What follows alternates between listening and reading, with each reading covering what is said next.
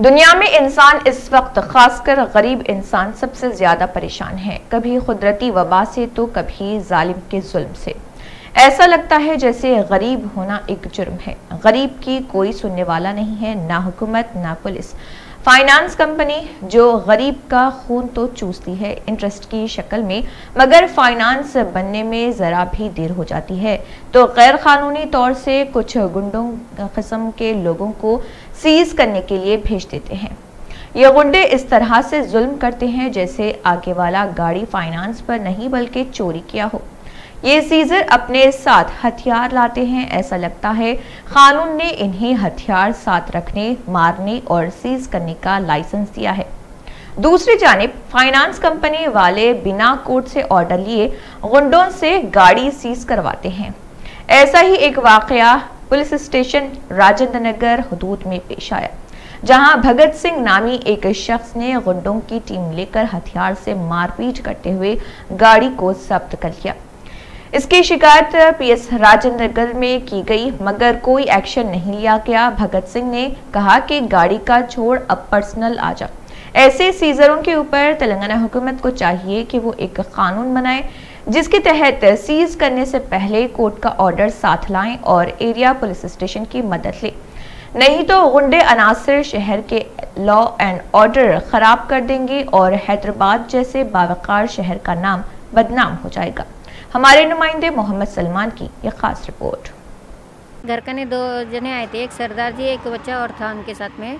दोनों जने बोले, ये गाड़ी किसकी है? बोल के ले तो मैं ये हमारे बेटे की है। बोल के तो बुलाओ बोल। के ले तो मैं इसको उठा के बाहर बोली, मैं अली बुला दे, कहीं तो भी गाड़ी वाले आए बोल के तो गए तो उन्होंने बोले, ये गाड़ी तुम्हारी है हमारे को चाबी दे, बोले। तो उन्होंने बोला, चाबी नहीं देता हूँ कहते से इसके फाइनेंस है वो, मेरे को मालूम है, मैं बात कर लिया ऑलरेडी मैडम बोले कहते सर छब्बीस तारीख तक भर दो बोल के बोले। तो ठीक है बोल के मैं बात कर लिया बोल। के ले नहीं नहीं नहीं मालूम, हमारे को चाबी देना ही पड़ता बोल। के तो इतने में दोनों के ज़्यादा आवाज़ आने लगे तो मैं बड़े बेटे को बोली बोली क्या हो रहा है कि बाहर देख बोल के बोले? तो उन्होंने गया तो उन्होंने बोला क्या हुआ? बोले उन्होंने मारने को ही चालू हो गए थे।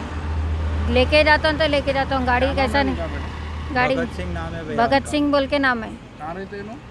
अपने किशन बाग किशन बाग करने रहते तीन महीने का फाइनेंस है। तो उसमें हाथापाई चालू हो गई। उन्होंने चक्कू निकाल के डराने लगे। बोला, ख़त्म ही कर देता हूँ तुम्हारे बेटे को। आँखों के नज़रों में डाल लिया हूँ। कहाँ मिले वहाँ? ख़त्म कर देता हूँ। दोनों को ख़त्म कर देता हूँ बोल के। तो मैं ऐसा क्या बोल रहे आप फाइनेंस वाले हैं तो सीधा बात करो। कहते सो, जो भी है तो बात कर लेके जाते लोगों को तमाशा कहीं को दिखा रहे माली। पूरे लोग देख रहे अच्छा दिखता है क्या, माली? हमारे परसों दावत हुआ। नहीं तो भर देते थे हम लोग। बच्ची का दावत हुआ, इसलिए नहीं भर सके। और ऑलरेडी हम लोग कंपनी से बात कर लिए। नहीं मालूम गाड़ी की चाबी दो बोले ना कैसा नहीं देते बोल के झगड़ा चालू कर दी। तलवार ने चक्कू सरका निकालने लगे तो मैं बीच में गई बीच में गई तो मेरे नाक पे ज़ोर से मार दिए जब भी ब्लड चालू हो गया। उतने देर में फिर और बर... नहीं आईडी कार्ड वही कुछ भी नहीं बताए। पी एस में क्या सर रिपोर्ट लिखे पहले बोले जाओ आप पूरा डॉक्टर कने जाके पूरा वो करा के टेस्ट करा के उसके बाद में क्या बोलते हैं लगा वो हिसाब से रिपोर्ट लिखते बोले। वो हिसाब से पूरा रिपोर्ट वो कर लेके गए वहाँ पे।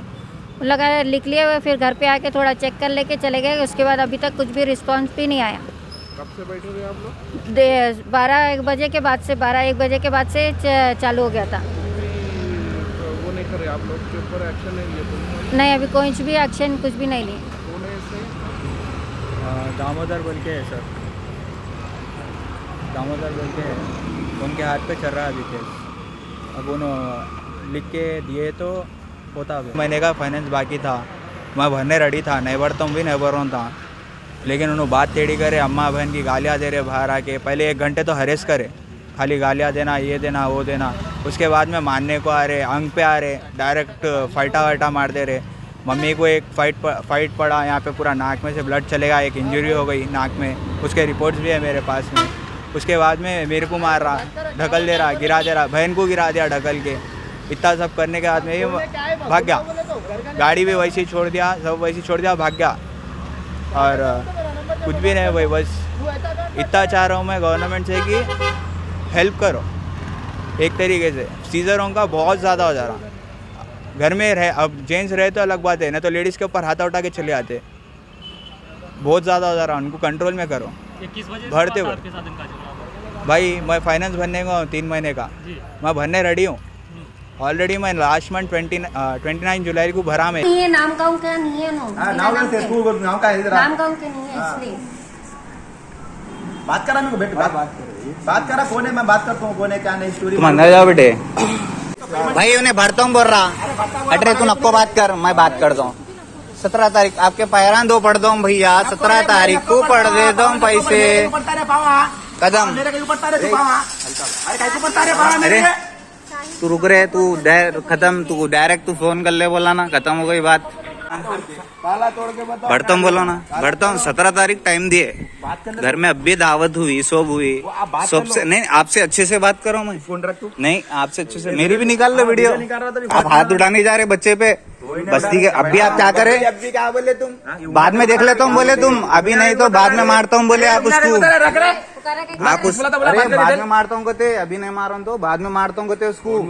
तो क्या हम बस्ती में रहने वाले बच्चे बस्ती वालों को कुछ मारते तुम? नहीं अरे बस्ती में रहने वाले बच्चे फ़ोन फोड़ दे। फ़ोन फोड़ते पक्का बोल रहा फोड़ दो तेरा फ़ोन अब? अरे कॉल करो तुम्हारे फ़ोन से वन वन डबल ज़ीरो को। बात